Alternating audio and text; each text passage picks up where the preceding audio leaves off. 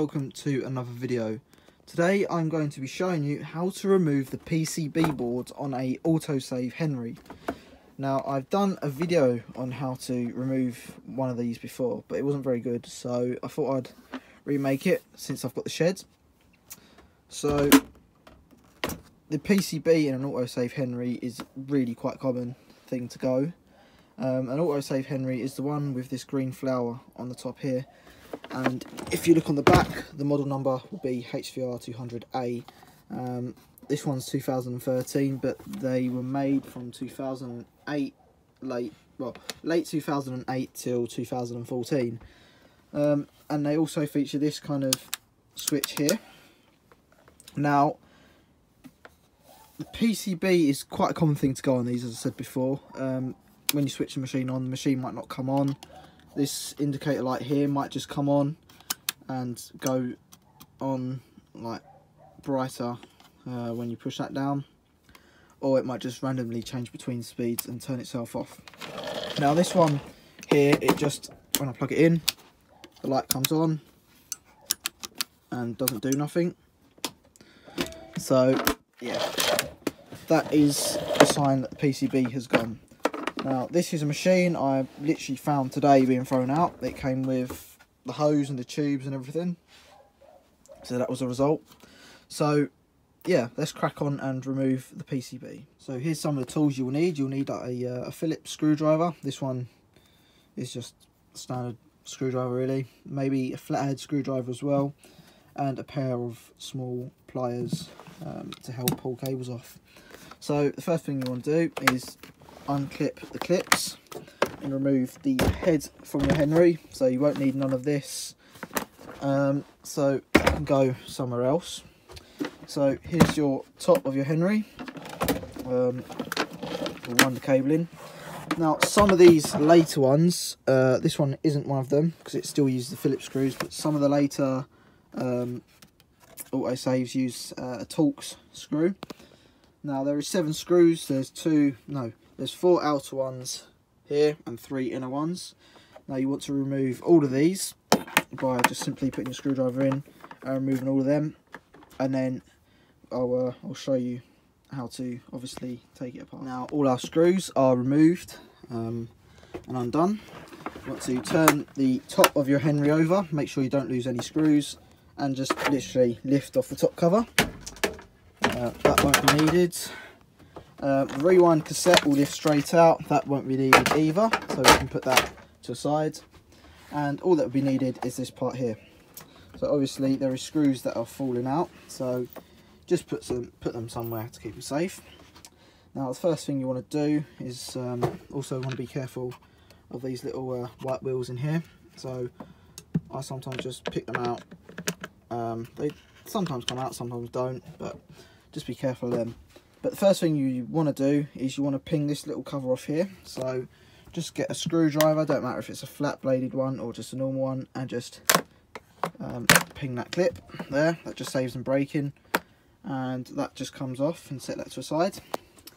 Now when you look in here, this may look a bit confusing, but this will be very easy once we get to um, actually removing the PCB. Um, now next thing you want to do is just go around the edges and kind of pry up this section here because this may be a bit stiff and stuck down um, from use over the years and then all you want to do is just lift that out as well. Um, here is your motor.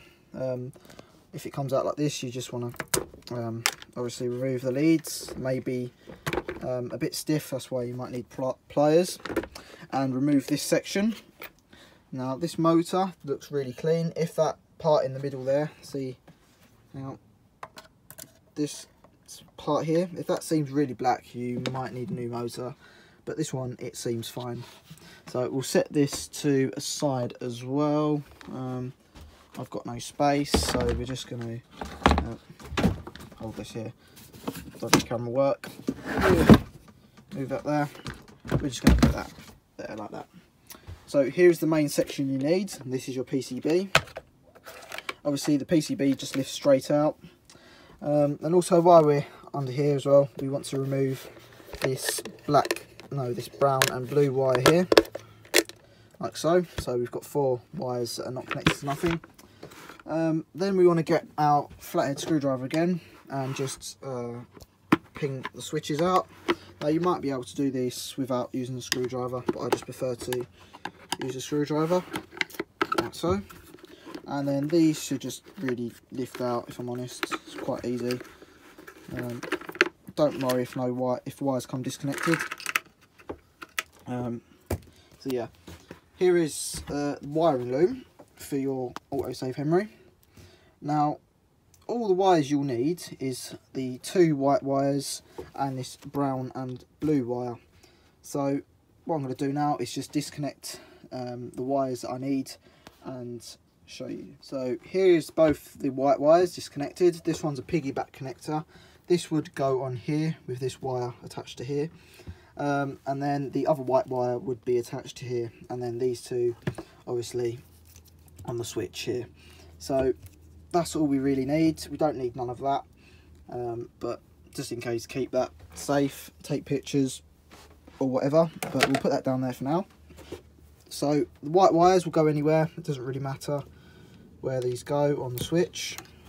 And just make sure the bigger ones go onto the connectors like so. And then our switch we can fit straight back into here.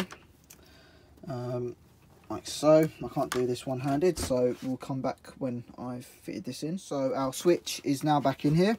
Now there will be a hole here, and an, an easy fix just to block that up is just put the, um, the high-low switch back in with nothing connected onto it. But for now, we're going to leave that as it is, just in case it is something else that is wrong with it. So we can just put the uh, PCB straight back in. So we'll turn this over. All the wires are fed through. Now, you won't need these wires yet. Um, you'll just need the brown and the blue one um, for now. So the blue one goes on the spade here, closest to the, um, the, the back of the machine where the switches are, and the brown one just goes on the one furthest away. Uh, very simple, just lock them into this little kind of tab down there. So, lock them into there, and then just push the cables into that little recess and push them down. Now, next thing you want to do is you want to get our motor. Now, although our motor is sitting nicely in here, just in case you do take this apart another way, we'll just take the motor out for you. Um, and we'll take the seal off and we'll take this little cage out. That just lifts out. And then we've got this, uh, this filter as well. So here's the motor. This is a 1200 watt twin flow motor. Quite a good motor these uh, when they're running right. So the cables doesn't really matter what way they go on the motor. They will go on anyway. It doesn't matter at all. Nothing bad will happen. Um, so don't stress about getting them on the right spade connectors. And then the motor um, will just line up. Um, just make sure you've got this, this part on the top here. because um, it won't sit in there right otherwise. So you want to move the motor out of the way, the cables rather, and we want to just sit that in there. We'll just move them cables over and we'll sit that one there in that recess. And then this one here also sit in there.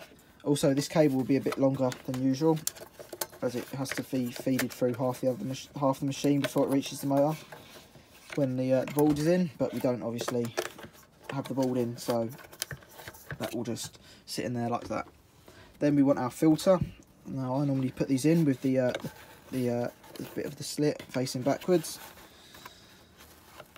like so. Just I normally just try and tuck it in to that thing there, just in space to the motor, like so. And then we want this cage. Now you want this flat bit to be facing down because that goes over the cables. So this goes in here, like so. Just be careful not to trap anything in there um, like that. There we go. That's it like that. So that goes in there like that. And then our white, or you might have a black seal if you have an older machine, goes on there. Um, motor runs freely. And then we want our motor cover, obviously, just to go in there like that. And the single screw pointing towards the back. And then just line all the the pegs up like so and that will go back onto there like that. Now if you want to, well you can test it like this. So I'm just going to put this cover back on just so them contacts are hidden and they cannot be touched when the machine is on. Um, I'm going to put this onto here. Um, now, do this at your own risk. If you get electrocuted, don't blame it on me because it's at your own risk. Um, but anyway, we just put our rewind unit back on, pull the cable out a bit, and we can just plug that in there and turn the machine on and see if it will work.